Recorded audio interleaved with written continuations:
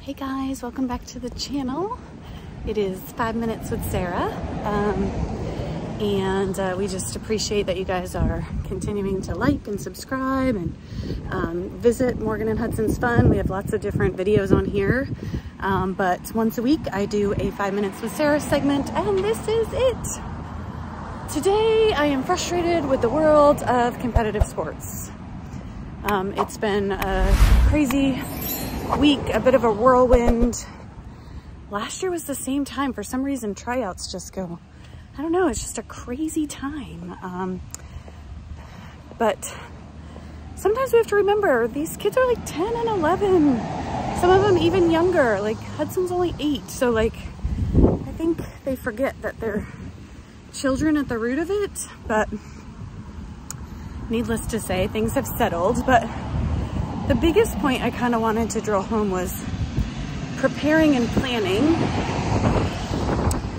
Last year, I felt like we got a little blindsided in the tryout process, so we had to be quick to kind of reevaluate things and, you know, get Morgan out to a bunch of clubs to kind of make sure we we hit the right um, fit for her, right? So um, then this year, we remembered that from last year. So we're like, we're going to be proactive.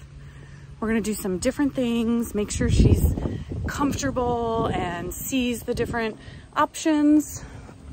Had some really great opportunities given to her, so that helped. And then still, come tryout process, it got really wonky again, and we ended up having to definitely take a sharp right turn.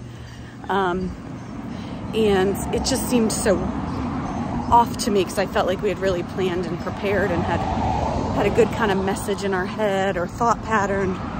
And it just goes to show you that you can plan as much as you want. You can prep, you can, you know, check all the boxes, but sometimes things just aren't meant to be. And sometimes I always try to tell myself it's God's little way of saying like, haha, Sarah, like, I'm a planner, right? I'm a planner, so I like things to be part of a process and go step by step. And sometimes I think God just likes to like laugh at me a little bit and say, haha, Sarah, like I had a different plan for you and you need to be more open to listening to me and accepting that, like being okay that things aren't going to be exactly how you wanted them or expected them to be, but like it's going to be better because you're listening. I'm listening to him, right? Like we all need to remember that he's the one that we need to, to listen to out of anybody. So they always, those are always things that make me chuckle in my head because I'm like, this wasn't how it was supposed to go. This isn't what we did. But in the end, I think it's going to be a much better situation. Um, we're very happy. Morgan's very happy. Um, so looking forward to another season of soccer. It will be with a different club this year, so we're excited about that. Um, and hoping that Hudson will get the same opportunities. So if that's what he wants, you know, again, it's whatever they want.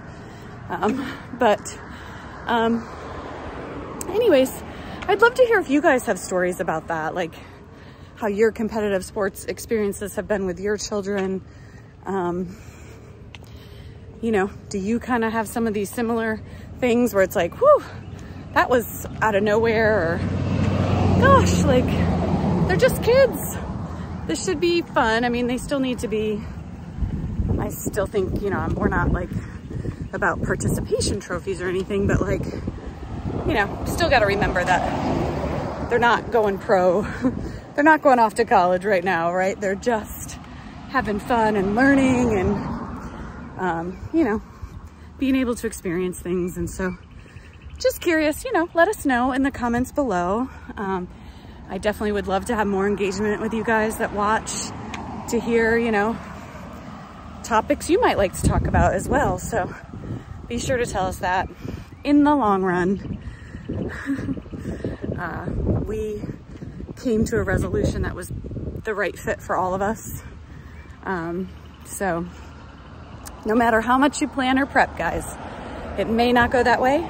And you have to just be okay with it, right? Just be open to what the next potential is going to be. And, you know, so for us, um, it is it is good. That doesn't always happen, right? Sometimes it can be tough, but, but we're happy today. So guys, thank you so much for checking in to Five Minutes with Sarah. Please be sure to keep liking and subscribing and uh, hit the notification so you know when they come up.